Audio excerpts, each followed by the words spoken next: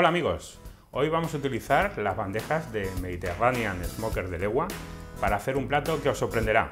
Vamos a cocinar unas alitas de pollo con un glaseado de whisky. Para empezar con nuestra receta prepararemos el aderezo con el que rebozaremos nuestras alitas. Dicho aderezo estará formado por 2 cucharadas de pimentón, 4 cucharadas de semilla de mostaza, una cucharada de sal gorda, una cucharada de ajo en polvo, una cucharada de cebolla en polvo, un pellizco de guindilla en polvo y todos estos ingredientes los trituraremos y los mezclaremos para aderezar nuestras salitas.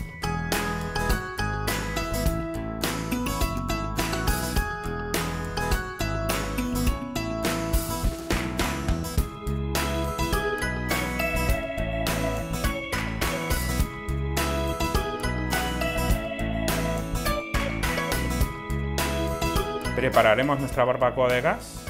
En ella colocaremos nuestra bandeja de Mediterranean Smoker.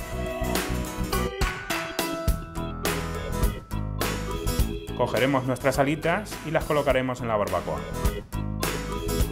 Pasados unos 10 minutos les daremos la vuelta y aplicaremos nuestro glaseado de whisky para hidratarlas y darle sabor.